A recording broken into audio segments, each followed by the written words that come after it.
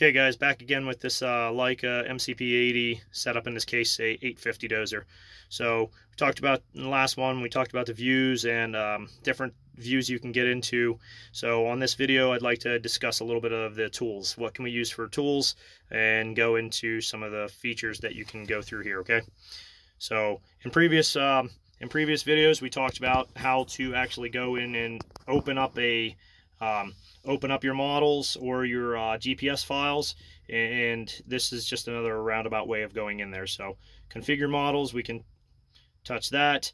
And so at this point um, you can see a few different things here. You can see what your vertical offset is. You can also see um, what your perpendicular offset is. So if we had a horizontal offset we could see that as well and then um, on the top here it's going to say CPI uh, Crown Pond Pad Pile Road. This is our entire site with the with the road. This is what we talked about a few videos ago. And uh, .trm, that's a terrain model. So whenever we're going through these, that's the terrain model is what you're generally going to want for most of your grading applications. And on this um, next screen here, all that's showing is just your um, various things you can change. You can change um, how the thing fits you, your light ambience, you can change that, adjust it to the brightness that you would like. So as we go back out of here, let's say we wanted to adjust our vertical offset. Um, we can hit that and we're just gonna, let's say we just want a zero offset. You don't have to enter, enter anything in if you want a zero offset. If you want to be right at finished grade, um, just cancel everything out there and hit the enter button and there you go. You have a zero offset. So now right right now what it's telling us is we're going to have our grade at finish grade is the elevations it's going to give you. So as you see there um, that changed our cuts quite a bit because we were originally at like a 1.6 or so uh, below finish grade uh, for our offset and now we're looking at it here okay now we're only um, 0.6, um, 0.62 foot on the left side, 0.45 on the right. So we're a lot closer now. Go back into tools, um, store point options. That's something, let's say, um, let's say you had to, there was a stake somewhere and you had to move it or you had to bury a pipe that you wanted to be able to come back to at a later date and be able to find the end of that pipe. So uh, rainstorm coming you had to bury your pipe. Um, so obviously you do as you normally do leave your markers in the ground but this is a pretty pretty good setup to actually give you a really good point. Okay this is where we left off. That's where the end of the pipe is. Dig here. So we could make that or um, whatever points you needed to save um, you could do that. Like I said, if it was uh, stakeout and you wanted to save that a little bit, um, you would be able to um, basically type in what the point name you want it to be, um, just whatever you want it to be, let's say AA, um, and enter. And so I'm going to hit uh, measure.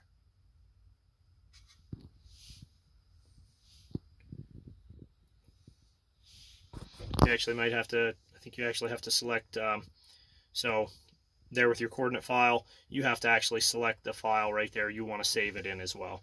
So, and then down here, when that light turns green, as it is now with the measure, now you can actually hit measure and it's going to save that point right there where you were just at. See how that saved that point uh, down here? That's where we were. So um, and you see how those are moving around a little bit. That's just that uh, GPS error that's built into the system, just a slight error that's always going to be there. All right, so we're going to go back out of this. Um, we'll flip over here, and you can have an auto logging option as well. Let's say we were uh, driving across an area doing a little bit of grading, and we wanted to auto log for uh, an as-built program, or um, we just wanted to record those those points for whatever reason it was um, you can actually go through here and actually um, set that up. So measure by, um, you could do measure by distance or measure by time.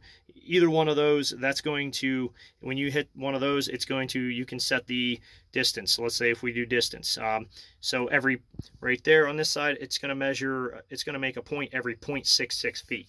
Um, or if we would go in here and enter time, we can make it every second, we can make it every three seconds, whatever it is. And so, um, and then down here on the bottom, you can highlight these points whether you want to actually show the points in plan view uh, or record in auto. Um, this machine doesn't have auto function as on it, so that's not something we're going to worry about with this one. Let's go back out of here. Um, and down here you can see where this uh, record function is now. So since we were in there, and I'm actually going to go back into tools because I don't want that active actually at this moment. So we're going to go in here and we're going actually going to X out of that.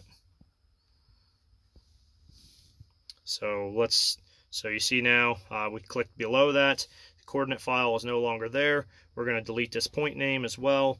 So um, backspace and enter Okay, so now we no longer should have, okay, it's still there, but we'll work on that later.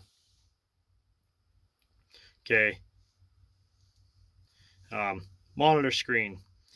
Basically, what you have here is you're going to have all of your um, all of your information. So what do we have here? We have our latitude, longitude, um, antenna, northing, easting, and height, meaning elevation. So if you were looking for the exact elevation of where you are, um, first, you have your latitude and longitude, and then you, that's also going to relay into your uh, northing and easting, and then your height. So um, GPS solution, if that says autonomous or anything other than fixed, your GPS is not going to work at the time. So this is if it's if it's showing any kind of um, warning message that it's not working, um, that's something you want to look at right here. Going into the monitor screen and then right there. So see that it's fixed. So as we look over here on this side, uh, what we're having is we have our mast, uh, northing, easting, height, and um, your left side of your blade and um, your center of your blade and then your right side of your blade this being your cutting edge down there. So on this side over here you have your antenna height. On that side you're going to have your um, the mast and then the left side of your blade center and um, right side. So as we look at this um, this is just some of the reference stuff that's um, they put in for uh, various setup things. So we can check some of these things though. Um, shows model cross slope. We're at 2.4% um, is what it's telling us we should be. The sensor is telling us that we're 4.5. Um, blade direction, it's at zero. Long slope, um, all this stuff you can kind of take a look at, and this is something you just going to have to play with a little bit to really get a good feel for. Um, and like I said, it just um, kind of goes through and tells you, okay, what's the localization? This is telling you um, what what uh, terrain model do we have in here on the bottom there. Um, over on this side, uh, the network, it's we're not on a network. We're not actually hooked uh, cellular to a uh, cellular tower or anything like that. So um, we're not gonna. It's not gonna show a network for us. And the sky plot. So we take a look at this. This is to show you. Okay, so we um, where's all of our antennas um, or sorry, our satellites and then what satellites are we actually using. So as we take a look at this, we see on the left side, you see GPS, you see the GLONASS, you see the BeiDou, and the Galileo um, setup. Um, obviously, when we look at that, there's no none of the Galileos that are um, either they're either not active or we don't have access to them. So, but what we do have access to, we have access to the um, the GPS, the GLONASS, um, GPS being the United States satellites, uh, GLONASS being um, GLONASS is going to be the Russian satellites, and BeiDou is going to be um, European ones. So take a look here, and it's actually going to tell you which satellites are we using, what's the sky plot according to where we're at with our machine um, here in the center, and then our northing um, show or north arrow showing right there, um, right here as well. So when you look through here, it's just a way that you can see, okay, where are we pulling our satellites from and how many satellites do we actually have. So on this side over here, we're showing 15 satellites, um, fixed position like we talked earlier. Uh, that's what you want to be. So that's, um, and then we're just right back to the, the first screen there. So we go back into tools again and we'll go through some more of this stuff. So we hit guideline, um, guidelines.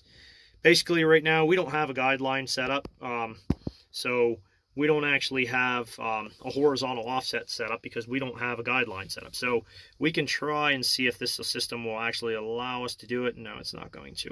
So down here on the bottom, you can click. Um, so let's go ahead and we're going to collect pick from graphics. It's going to allow us to pick that. And so now let's touch here on the guideline and no, it's still not going to let us do it. Let's see, pick polyline. Um, and it's not going to give us anything here. Um, let's see. It's zoomed way out at this point, so let's, we're going to zoom in, and nope, there's, it's, um, there's nothing on this file to let us do, use that line. So horizontal offset, what that would be is basically, let's say we wanted to,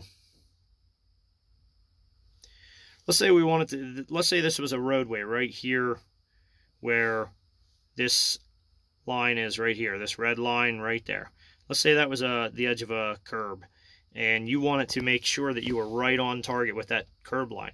That's where I showed you earlier with that horizontal offset. You can actually highlight that line and it'll keep that as your alignment and set it so that the left side of your blade, the left side or the right side would actually be right on that line or you can offset that horizontal offset um, to be a couple feet past that so you're actually grading a few feet beyond that curb line so that way that way whenever they go to grade curb they have room to um, the curb crew has room to actually get their curb machine in there and, and do what they need to do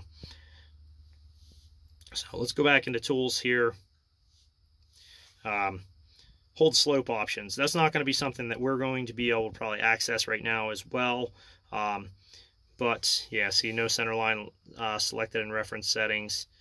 So um, vertical offset though.